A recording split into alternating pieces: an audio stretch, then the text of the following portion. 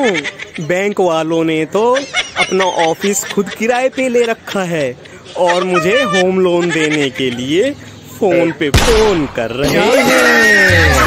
लोग तुम्हारी कितनी भी तारीफ़ क्यों ना कर ले, लेकिन बीबी की नज़र में तुम तो वो पति हो जो भगवान किसी को भी ना दे।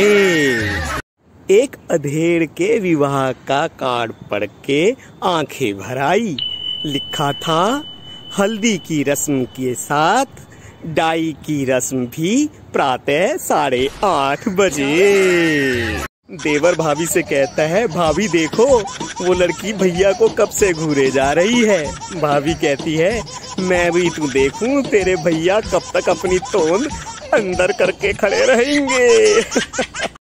मित्रों, बड़ी ही विकट समस्या है। मास्क के साथ चश्मा पहनो तो आँखों के आगे कोहरा छा जाता है और चश्मा हटाओ तो अंधेरा छा जाता है।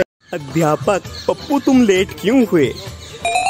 पापा, मम्मी लड़ रहे थे। अध्यापक तो तुम क्यों लेट हुए?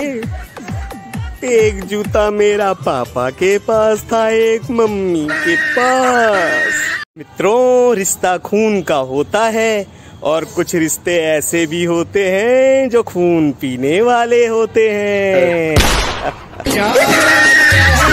फ़ोटो खिंचवाने के लिए खड़ा था, सोचा था, फोटोग्राफर बोलेगा, स्माइल, प्लीज़। लेकिन वही बोला, पेट अंदर, प्लीज़। आज मोहल्ले में एक अनजान लड़की मिठाई बांट रही थी। पूछा तो पता चला, वो मिठाई इसलिए बांट रही थी क्योंकि उसने आज ही ब्रेक लगा के स्कूटी रोकी। ऐसी वाणी बोलिए कि जम के झगड़ा होए, उससे कभी ना बोलिए जो आपसे तगड़ा होए। मित्रों, जिस दिन भी गंदी शर्ट के ऊपर स्वेटर पहन लो, उसी दिन धूप इतनी तेज निकलती है कि स्वेटर उतारना पड़ जाता है। चलो बताओ, रोंग को हिंदी में क्या कहते हैं?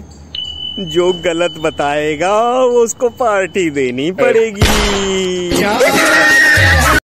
मित्रों, मैंने सोचा था दो शादियाँ करूँगा तो एक पीटेगी तो दूसरी बचा लेगी। लेकिन रात को सपना देखा, एक ने पकड़ रखा था और दूसरी पीट रही थी। कहते हैं, मोहब्बत बहुत बुरी चीज़ है, ज़िंदगी बर्बाद कर देती है।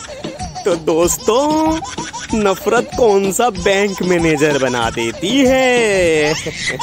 सत्य वचन मिडिल क्लास वाले लड़के को अपना पर्सनल रूम और बेड शादी के बाद ही नसीब होता है।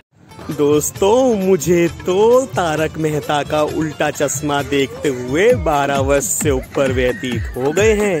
लेकिन अभी तक ये पता नहीं चला आत्मा राम तुकाराम भिड़े किस सब्जेक्ट का टीचर है। मित्रों शादी में सबसे बड़ा धोखा तो तब होता है जब गाय के गुण बताकर दूल्हे को शेरनी थमा दी जाती है। मित्रों पत्नी अगर खूबसूरत ना हो तो पति दाएँ बाएँ देखता है और अगर पत्नी ज़्यादा खूबसूरत हो तो चारों ओर देखता है।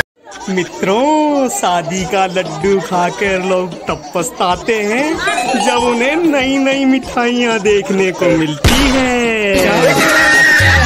मित्रों, एक बात याद रखना, डीजल का रेट चाहे पेट्रोल से कितना भी ऊपर क्यों ना हो जाए, लेकिन वो कहलाएगा पेट्रोल पंप ही। एक बार एक महिला अपनी स्कूटी में पहली बार पेट्रोल भरवाने पेट्रोल पंप पहुँची। और पेट्रोल वाले से पूछा, भैया, क्या रेट है पेट्रोल का? पेट्रोल वाले ने कहा, मैडम, नब्बे रुपए। इतने में महिला बोली, भैया, ठीक ठीक, लगाओ, साथ वाले में तो अस्सी रुपए मिल रहा है। चारों ओर सन्नाटा। कितने में पेट्रोल वाले ने कहा, साथ वाली मशीन में डीजल है, कहो तो मैडम, डीजल भर दूँ। उम्र के उस पड़ाव पर आ गए हैं जनाब, की rose day propose day hug day Valentine day किसी भी डे से फ़र्क नहीं पड़ता। फ़र्क पड़ता है तो सिर्फ़ ड्राई डे से। संता बनता से ये कोरोना कैसे होता है? बनता टेस्ट कराने से।